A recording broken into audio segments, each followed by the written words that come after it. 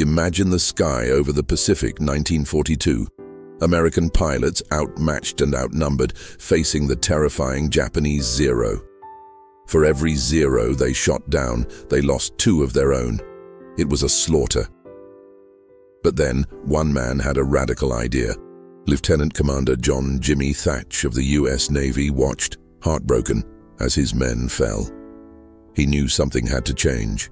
Using matchsticks on his kitchen table, he worked out a new tactic, a dangerous counterintuitive dance of death.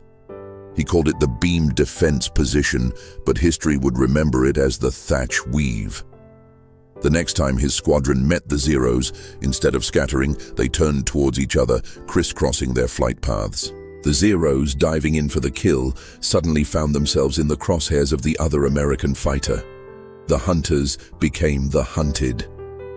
This simple, brilliant move, born from desperation and genius, completely turned the tide of the air war. It's a powerful reminder that in the darkest moments, courage and ingenuity can change everything. Thanks for watching, and don't forget to like and subscribe for more incredible stories.